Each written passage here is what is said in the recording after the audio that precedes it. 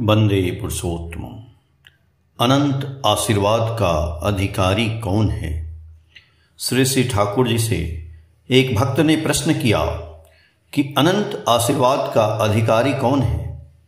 श्री श्री ठाकुर जी ने कहा कि मैं कहता हूँ कि उषाय निशाय मंत्र साधन, चलाए फिराए जप, यथा समय इष्ट निर्देश, मूर्त कराई तप।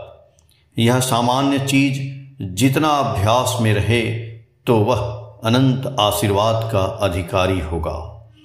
भीतर का यदि योगान ठीक रहे, वो बाहर का चलन स्वतः ठीक रहता है।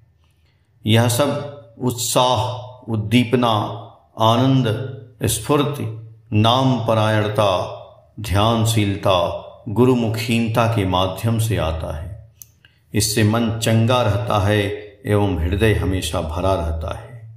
वैद्य जिस प्रकार रोगी को औषधि देते हैं, मेरे द्वारा दिया गया नाम भी औषधि है। जो जितना निष्ठा के साथ करेगा, उतना उसे फल मिलेगा।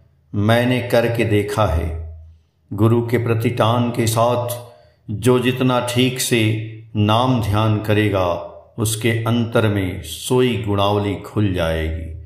नाम ध्यान के साथ साथ कर्म भी चाहिए। अन्यथा मनुष्य निथर हो जाएगा, जिसका सेंसरी नर्व, बोध स्नायु एवं मोटर नर्व, कर्म स्नायु समान रूप से एक्टिव, सक्रिय है, उसका व्यक्तित्व उज्जवल रहता है।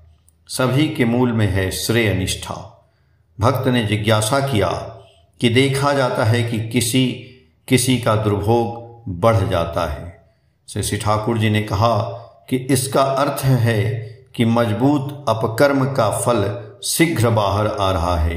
वह यदि निष्ठा के साथ कर्म करता रहे तो वह स्वस्ति का अधिकारी होगा ही।